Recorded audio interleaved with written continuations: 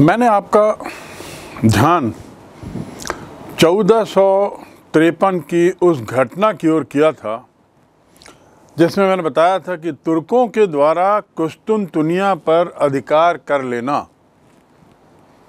एक बहुत महत्वपूर्ण घटना है।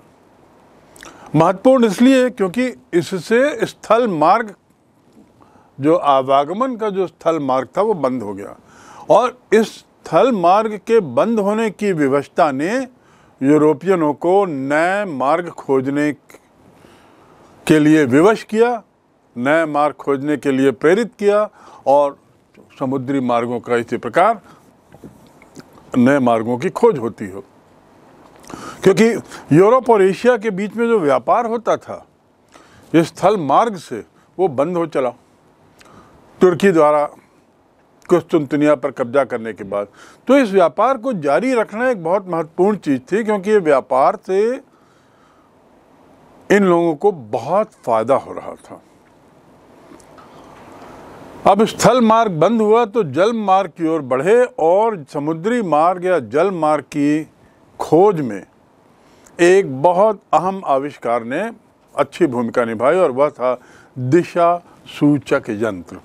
जिसे हम कुतुब नुमा भी कहते हैं, इसके आविष्कार से क्या हुआ कि जो बहादुर नाविक थे, वे लोग अब तुलनात्मक दृष्टि से इस यात्रा को सरल पाने लगे और ऐसी साहसिक यात्राओं पर निकलना उनके लिए अब थोड़ा सरल हो गया। नए मार्गों की खोज करना सरल हो गया। कोलंबस, जिसका मैंने ज़िक्र किया है मैग जो चौदह में जिसने तथाकथित उस ज़मीन की खोज की, जैसे वो गलती से भारत समझ बैठा था। और वास्तव में वह, वही भूमि थी जो बाद में अमेरिका का हिस्सा मालूम हुई। समुद्री मार्गों से कई देशों के रास्ते खोजे गए और इन भौगोलिक खोजों से यूरोप का जो व्यापार एक तरीके से थम गया था कॉन्स्टेंटिनोपल की घटना के बाद वो फिर से शुरू हुआ। धन की बहुलता उद्योगों को बढ़ावा दिया इंडस्ट्रियल रिवोल्यूशन अलग आया। स्पेन को दक्षिण अमेरिका का वो देश मिला जो धन से पड़ा था। समृद्धि के रास्ते में आगे बढ़ गया स्पेन। और व्यापार के साथ साथ अब एक और उद्देश्य जुड़ चला। लोगों की, यूरोपियनों द्वारा दूसरे देशों में जाने का एक और उद्देश्य और वह था धर्म प्रचार। तो इस प्रकार दो कारणों से हम देखते हैं लोगों का जाना आना प्रारंभ हुआ और इसी आने जाने की प्रक्रिया में लोग यूरोपीय लोग और बाद में एशियन लोग नए क्षेत्रों में जाकर बसने लगे। वहाँ के स्थायी निवासी बनने लगे। वहाँ के मूल निवासियों के ऊपर अपने को समझने लगे और एक समय आया जब उन्होंने उस क्षेत्र को उपनिवेश बना लिया। और यहाँ से शुरू होती है उपनिवेशों की स्थापना और उपनिवेशों की महत्ता जैसे जैसे ये यूरोपियन समझते गए, बेहतर समझते गए, वैसे वैसे ज़्यादा से ज़्यादा उपनिवेश बनने लगे। इस प्रकार नए नए उपनिवेश शुरू हो गया उपनिवेश से हमारा तात्पर्य क्या है?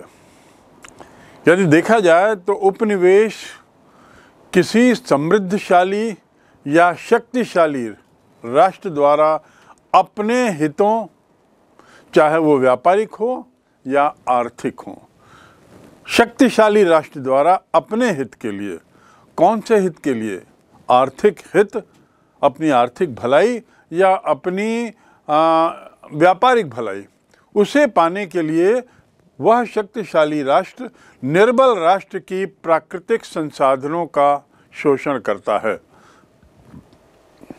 शक्ति के बल पर उनका उपभोग करता हो।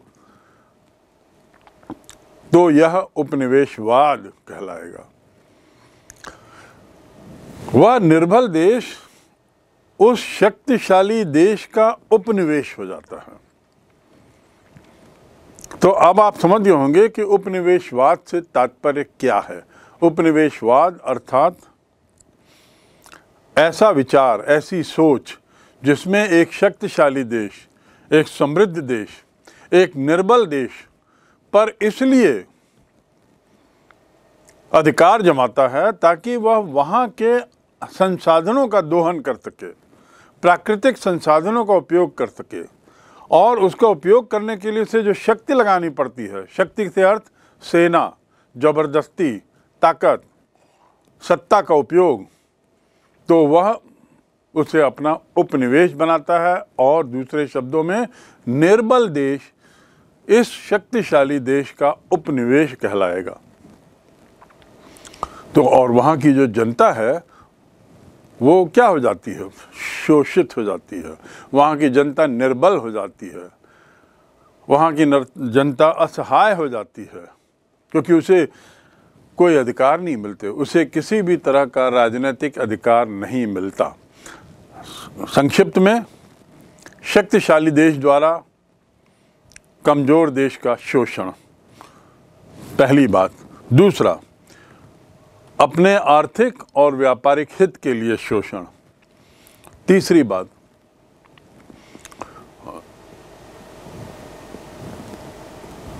जो वहाँ के निवासी हैं उनको अधिकार किसी तरह के नहीं दिए जाते, राजनीतिक अधिकार किसी तरह के नहीं रहते। और चौथी और अंतिम बात कि शक्ति का उपयोग किया जाता है, तभी शोषण होता है। तो ये चार बिंदु उपनिवेशवाद से जुड़े हुए हैं। और गंसकी जो एक प्रसिद्ध विचारक रहे हैं, उनके अनुसार वे सभी क्षेत्र उपनिवेश के तहत आते हैं जो विदेशी सत्ता द्वारा शासित हों। सीधी परिभाषा। उपनिवेश क्या है? वे सारी जगहें जो किसी विदेशी सत्ता के द्वारा शासित हों और जिसके निवासियों को राजनैतिक अधिकार ना हो।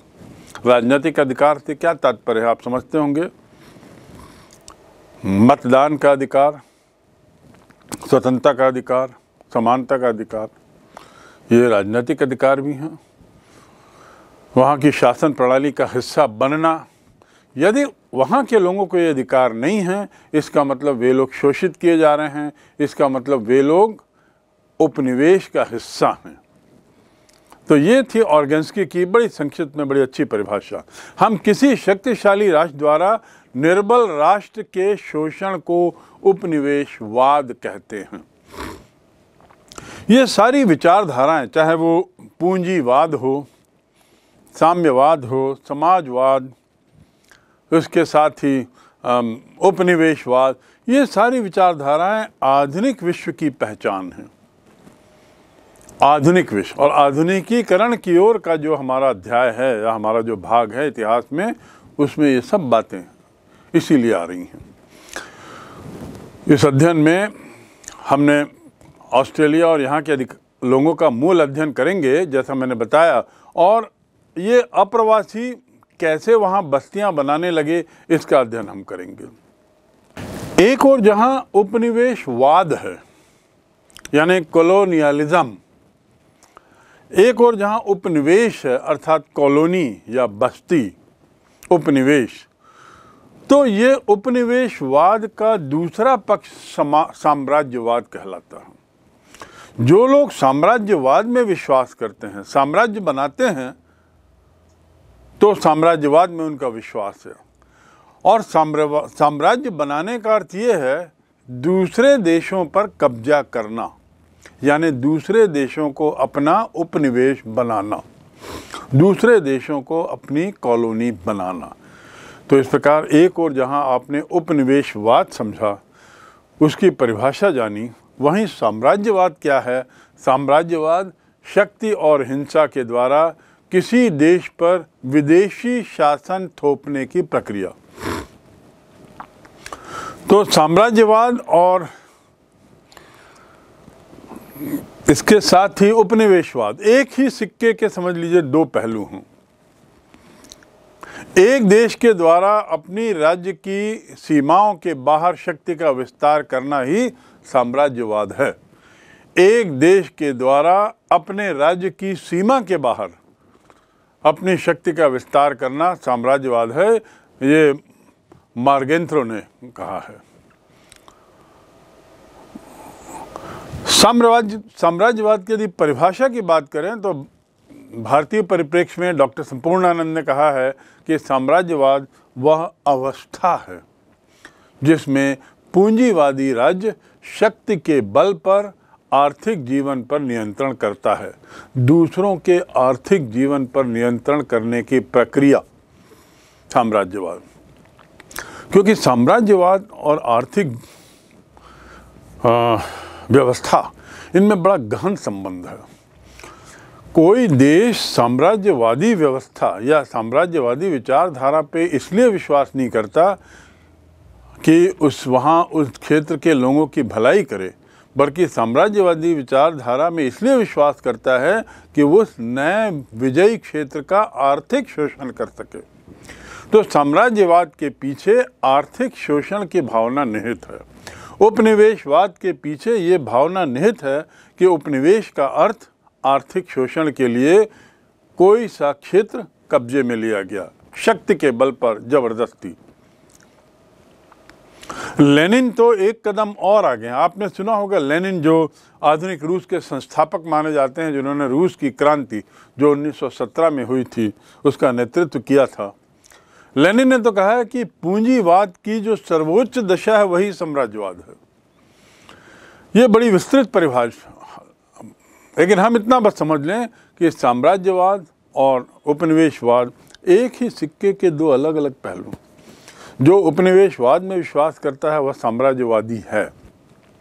अंग्रेज़ी में यदि हम देखें तो उपनिवेश यानी कॉलोनी, उपनिवेश याद यानी कॉलोनियलिज्म, उपनिवेशवाद यानी कॉलोनियलिज्म, और साम्राज्य वाद यानी इम्पीरियलिज्म तो और साम्राज्यवाद पर विचार करने वाला व्यक्ति इम्पीरियलिस्ट इम्पीरियलिस्ट। जो साम्राज्य पर विश्वास करे। शुमो ने जो स्वयं एक प्रसिद्ध विचारक रहे हैं और उन्होंने उपनिवेशवाद पर काफ़ी गहन काम किया है, उनका कहना है कि साम्राज्यवाद बिना शक्ति और हिंसा के कतई प्राप्त नहीं हो सकता।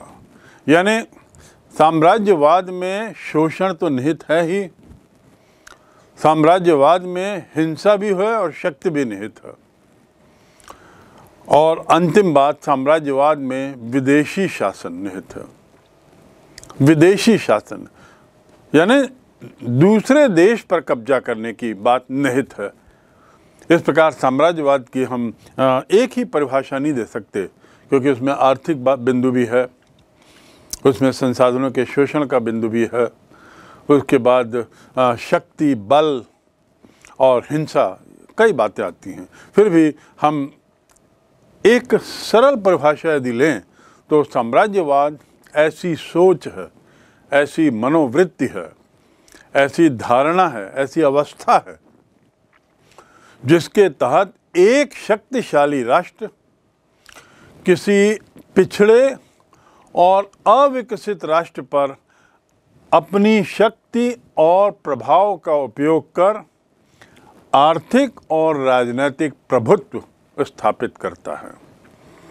ये एक सोच है, एक अवस्था है, एक मनोवृत्ति है, जिसमें एक शक्तिशाली राष्ट्र किसी अन्य पिछड़े या निर्बल राष्ट्र पर शक्ति और हिंसा के द्वारा, अपने प्रभाव के द्वारा आर्थिक और राजनीतिक प्रभुत्व स्थापित करता है। और ऐसा करते हुए वह वहाँ की जनता का आर्थिक मानसिक और शारीरिक शोषण करता है। आर्थिक मानसिक और शारीरिक शोषण। ये हो गई साम्राज्यवाद की परिभाषा। तो अब साम्राज्यवाद का, का के मायने क्या हुए हमारे लिए? कि आर्थिक शोषण इसका उद्देश्य होता है। और इसी आर्थिक शोषण के परिप्रेक्ष्य में हम विस्थापन का अध्ययन कर रहे हैं। उन्नीसवीं सदी में जो औद्योगिक क्रांति हुई थी उस क्रांति के परिणाम स्वरूप क्या क्या परिवर्तन आए थे, ये हमने पढ़ा है। और नए भौगोलिक मार्गों की खोज, उसके साथ उत्पादन के साधनों में नए तरीकों का आना, उत्पादन का बढ़ना, इसने हमें नए नए क्षेत्रों की खोज के लिए बहुत प्रेरित किया। यूरोप के जो शक्तिशाली देश थे वे अपने अपने उत्पादनों की खपत के लिए नई नई संभावनाएँ तलाशने लगे। चाहे उसमें ब्रिटेन हो फ्रांस हो, या पुर्तगाल हो, स्पेन हो, इटली हो, ये देश जो मज़बूत थे, आर्थिक रूप से संपन्न थे, और राजनीतिक दृष्टि से भी बड़े ताकतवर थे, ये लोग नए मार्केट खोजना चाहते थे। क्योंकि औद्योगिक क्रांति ने उत्पादन कई गुना बढ़ा दिया। अब उस उत्पादन को खपाना था ना। उसको खपाएँ कहाँ? नए नए मार्केट में। नए मार्केट कैसे मिलेंगे? जब हम नए रास्ते खोजेंगे। और उसी रास्तों की खोज का परिणाम हुआ कि ये बहुत सारे नए नए रूट सामने आए। इनका मूल उद्देश्य इन राष्ट्रों का औद्योगिक प्रतिस्पर्धा के कारण एक तरीके से कब्जा करना नए नए क्षेत्रों में। अब यूरोपीय राष्ट्रों में एशिया के साथ साथ अफ्रीका के क्षेत्रों पर भी प्रभुत्व स्थापित करने का एक तरीके से दौर चल पड़ा। प्रारंभ में ये लोग एशिया तक सीमित थे। एशिया के देशों पर इनकी नज़र थी जिसमें भारत भी एक हिस्सा था। भारत में फ्रेंच कंपनी आई डच कंपनी आई, पोर्चुगीज़ कंपनी आई, और उसके साथ ही ब्रिटिश कंपनी आई। अंत ब्रिटिश साम्राज्य की यहाँ स्थापना हुई। पर इसका अर्थ ये नहीं कि डच, पोर्चुगीज़, इन लोगों ने ये साम्राज्यवादी नहीं थे। इन्होंने किसी अन्य क्षेत्रों में अपना विस्तार किया, किसी अन्य एशियाई देशों पर अपना कब्जा जमाया। और अब एशिया के बाद ये लोग अफ्रीका की ओर बढ़ चले। और ये सब क्यों हो रहा था? नए नए मार्केट को खोजने की नए नए मार्केट को खोजने के बाद उस पर कब्जा करने की जो प्रतिस्पर्धा इन देशों के बीच में हुई, वही उपनिवेश का वाद का रूप लेती है और इस प्रकार एक नई धारणा का जन्म होता है। कब्जा कर लेना। पहले तो माल खपाने के लिए केवल माल पहुँचाए जाने की ज़रूरत होती थी। अब ज़रूरी ये हो गया कि माल खपाने के लिए माल मात्र पहुँचाया ही ना जाए, ये सुनिश्चित किया जाए कि दूसरे देशों का माल वहाँ ना बिके। ताकि हमारी मनोपली बनी रहे और हमारा ही माल वहाँ खरीदा जाए। यही उपनिवेशवाद की बदलती हुई धारणा को जन्म देता है।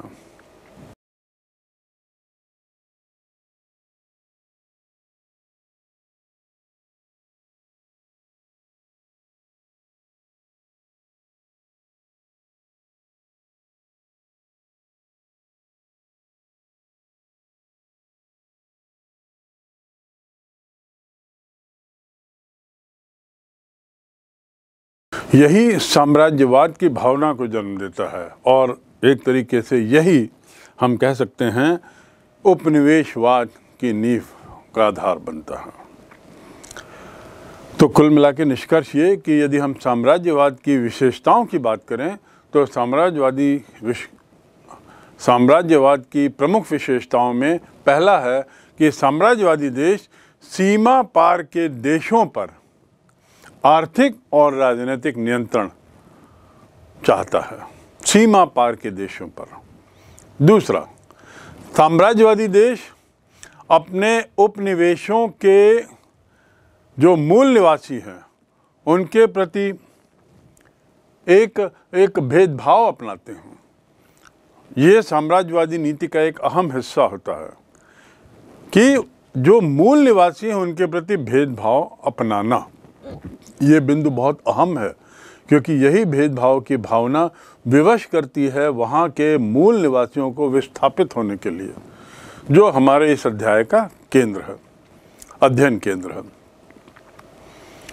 और भेदभाव कैसे करती है? उन्हें उनके राजनीतिक अधिकारों से वंचित रखती है। तीसरी विशेषता, साम्राज्यवाद की। कि वे जितने आर्थिक संसाधन है, उसका शोषण करते हैं। साम्राज्यवाद की विशेषता है कि उसका उद्देश्य होता है आर्थिक संसाधनों का शोषण। और अपने देश की अर्थव्यवस्था के अनुसार शोषण करवाना, अपने देश की अर्थव्यवस्था की आवश्यकता अनुसार। जैसे उदाहरण के लिए हम देखें तो इंग्लैंड में औद्योगिक क्रांति के दौरान बहुत सारे कपड़ा उद्योग स्थापित हुए। लेकिन फैक्ट्री तो होनी, लेकिन कपास नहीं था। तो भारत जो उनका एक उपनिवेश था, उसको उन्होंने विवश किया कि वह कपास भेजे ज़्यादा से ज़्यादा, कपास का उत्पादन करे ज़्यादा से ज़्यादा यहाँ के किसानों को कपास उत्पादन के लिए प्रेरित किया गया, बाद में शक्ति बल का उपयोग किया गया, और फिर यहाँ से कपास निर्यात करने लगे इंग्लैंड को। तो इस प्रकार इसका जो मकसद होता है कि अपनी अर्थव्यवस्था के अनुसार शोषण करवाना। चौथी विशेषता होती है कि अतिरिक्त पूंजी का निवेश कर अधिक से अधिक लाभ प्राप्त करने की इच्छा। कुछ अतिरिक्त पूंजी का निवेश कर अधिक से अधिक लाभ प्राप्त करके वहाँ का व्यापार अपने हाथ में लेना। जैसे भारत का सारा व्यापार अंग्रेज़ों ने अपने हाथ में ले लिया था। और अंतिम विशेषता है कि साम्राज्यवादी देशों में ये भावना रहती है कि जो मूल निवासी हैं या जो उपनिवेश में रहने वाले लोग हैं, वे लोग असभ्य हैं।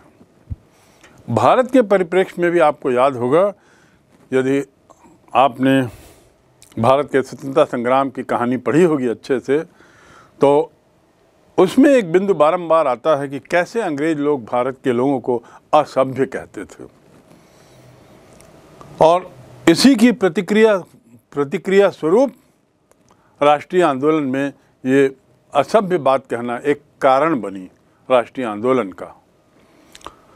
तो पांचवी विशेषता साम्राज्यवाद की कि ये लोग जनता को असभ्य मानते हैं और ऐसा कहते हुए उनके साथ भेदभाव करते हैं। ये तो हो गई साम्राज्यवाद की परिभाषा और साम्राज्यवाद के मायने, साम्राज्यवाद की विशेषता। इसमें जो मैंने एक बिंदु बताया, दूसरा बिंदु, कि इन मूल निवासियों के प्रति बड़ी हीन भावना से देखते हैं। ये हमारे लिए बहुत महत्वपूर्ण है बिंदु। तो अगले बिंदु पर हम आते हैं और वह है यूरोपीय साम्राज्यवाद। यूरोपीय साम्राज्यवाद। यानी जो पलायन है, इस पलायन के पीछे हम कुछ साम्राज्यवादी विचारधारा की भूमिका देखते हैं। और वह भी मूल रूप से यूरोप के लोगों की। ये बात तो इस शीर्षक से स्पष्ट है। सत्रहवीं सदी के आसपास, मैंने जैसा शुरू में बताया, स्पेन और पुर्तगाल ने सबसे पहले एक तरीके से औपनिवेशिक नीति प्रारंभ की थी। तब तक इंग्लैंड, फ्रांस और ये जो देश थे, ये ज़्यादा विकसित नहीं हुए थे। ज़्यादा इन्होंने अपना व्यापार विकसित मतलब व्यापारिक दृष्टि से अपना साम्राज्य नहीं फैलाया था। लेकिन धीरे धीरे धीरे अमेरिका, एशिया, अफ्रीका में ये अपने उपनिवेश बनाना शुरू करते हैं। शुरू में, बड़े धीरे धीरे। आयरलैंड भी जो है वो आयरलैंड भी इंग्लैंड का एक उपनिवेश ही। है देखिए नक्शे में। आयरलैंड भी इंग्लैंड का हिस्सा है। वैसे सच्चाई तो ये है कि वह इंग्लैंड का उपनिवेश ही है। क्योंकि वहाँ के भूस्वामी जो वहाँ बसे हुए थे, वो अंग्रेज़ थे। और इसलिए वो भारत की तरफ़ वह भी उपनिवेश है। ये सत्रहवीं शताब्दी के आसपास अब अठारहवीं शताब्दी आते आते क्या होता है कि लाभ की जो संभावना है, प्रॉफिट की जो पॉसिबिलिटी है, व्यापार से होने वाले लाभ की संभावना बढ़ने लगती है। इस बढ़ती संभावना से इन देशों के बीच में प्रतिस्पर्धा बढ़ती है और उपनिवेशों पर ज़्यादा से ज़्यादा उपनिवेश तैयार किए जाते हैं। उपनिवेश बसाने की प्रेरणा इनको मिलती है और 18वीं शताब्दी में हम देखते हैं कि यूरोप के देश अफ्रीका और एशिया में व्यापारिक कंपनियों के माध्यम से राजनीतिक सत्ता अपनाते हैं, स्थानीय शासकों को पराजित करते हैं और अपने साम्राज्य का विस्तार कर लेते हैं, जैसा भारत के साथ हुआ। अट्ठारहवीं शताब्दी यानी सत्रह सौ से शुरू होता है, भारत में सत्रह में प्लासी के युद्ध के साथ ही जो व्यापारिक कंपनी थी, एक तरीके से उसने राजनीतिक सत्ता पाली। जब उसने प्लाची का युद्ध जीता, उसके बाद बक्सर का युद्ध जीता तो एक तरीके से हम कह सकते हैं कि व्यापारिक कंपनी ने अपना रूप बदल दिया और अब एक वो शासन करने वाली कंपनी बन। और यही हाल अन्य देशों का, अन्य देशों में हुआ। और ये सब अट्ठारहवीं सदी के आसपास। ये लोग क्या करते थे कि जब जिस देश का, जिस देश को अपना उपनिवेश बनाते थे, वहाँ की व्यवस्था, राजनीतिक व्यवस्था को वैसी रख, प्रशासकीय व्यवस्था को, शासन चलाने की व्यवस्था को वैसी रखते थे। और केवल भू स्वामियों से कर ले लेते थे और यही कर उनकी आय का मुख्य ज़रिया होता था। इसीलिए तो रेलवे का निर्माण हुआ, ताकि वो देश के अंदरूनी हिस्सों तक जा सके उनका माल, ताकि देश के अंदरूनी हिस्सों में जाके वे टैक्स कलेक्ट कर सकें। बड़े बड़े चाय बागान बनाए गए, चाय बागानों तक रेलवे मार्ग पहुँचाया गया। तो ये रेलवे मार्ग के पीछे कोई सामाजिक भलाई नहीं थी। सामाजिक भलाई उद्देश्य नहीं था। इन रेलवे मार्गों के पीछे उनका उद्देश्य था देश के अंदरूनी इलाकों तक पहुँच, ताकि कर लिया जा सके, माल पहुँचाया जा सके, पक्का माल और कच्चा माल उठाया जा सके।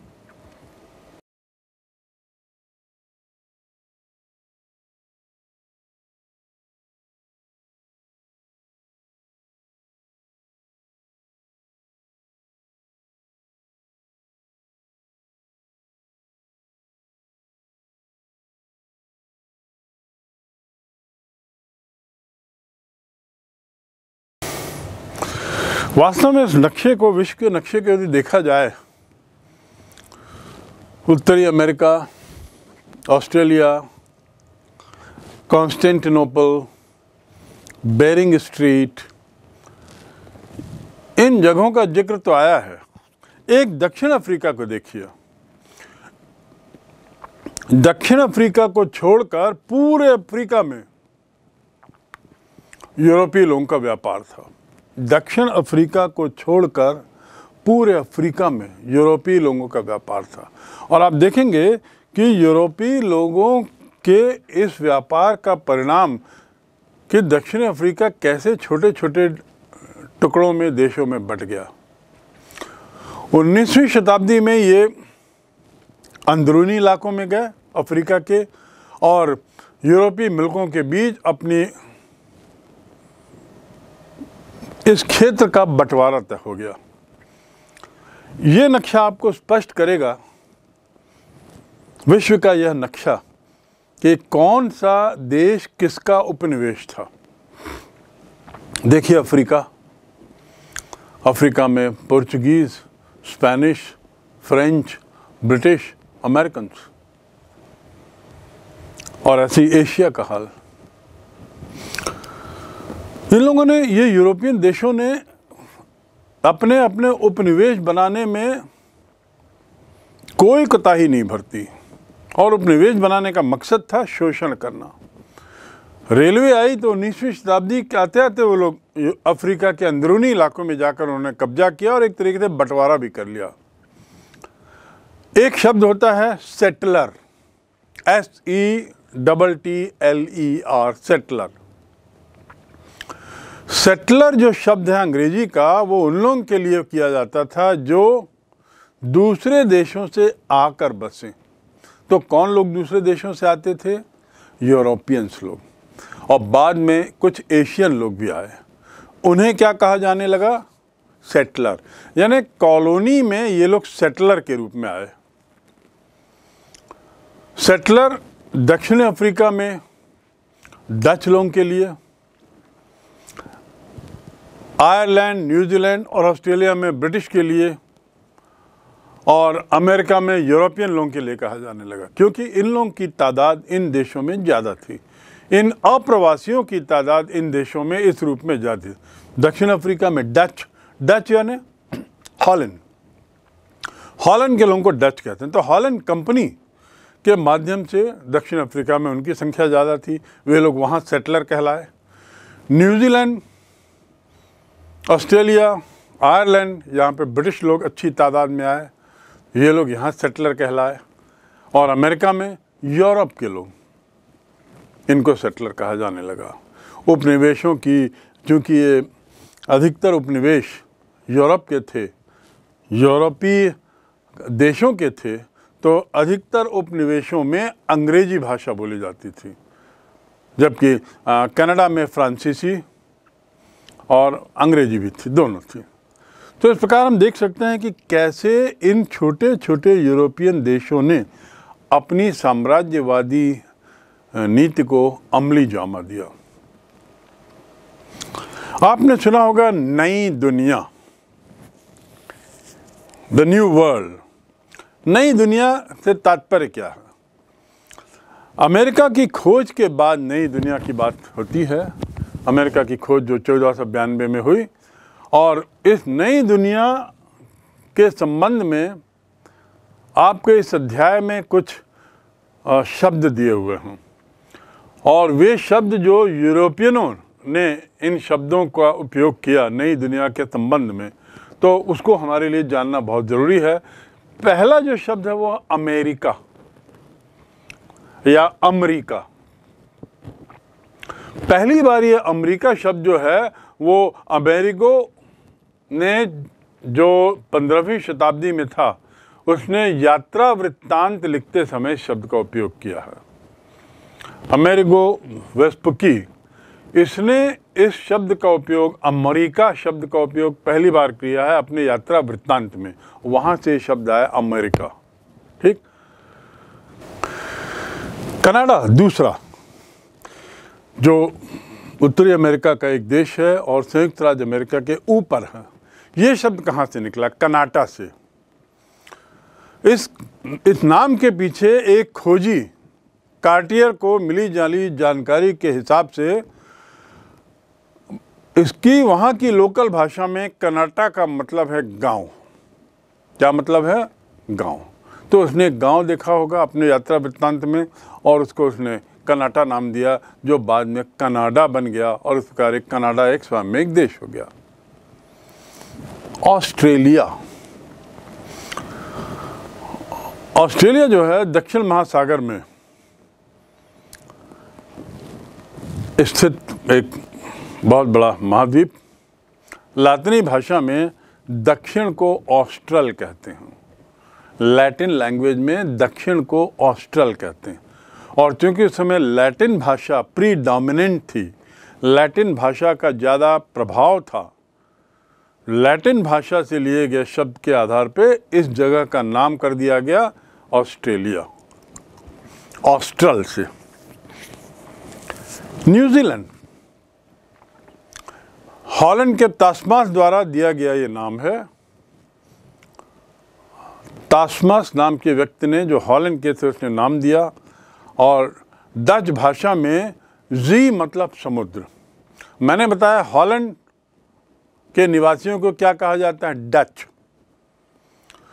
तो डच भाषा में जी मतलब समुद्र। तो चूँकि 1642 में तासमास ने इस टापुओं को देखा, न्यूजीलैंड टापुओं का देश है आइलैंड्स का देश है तो उसने उस समुद्र नाम से उसका नाम दे दिया न्यू जीलैंड नया समुद्री ज़मीन। तो ये देखिए, ये इन चार देशों की चार जगहों की व्युत्पत्ति के बारे में बल्कि चार देशों की व्युत्पत्ति के बारे में, उनके नामों की व्युत्पत्ति के बारे में। अमेरिका और ऑस्ट्रेलिया में सौ से ऐसे ज़्यादा स्थान हैं जो न्यू से शुरू होते हैं, या जिनके नाम में न्यू शब्द ज़रूर आता है, अमेरिका और ऑस्ट्रेलिया। इसके पीछे यही है कि ये नई दुनिया से इनका तात्पर्य है, नई दुनिया से इनका ताल्लुकात है द न्यू वर्ल्ड से ये एसोसिएटेड है।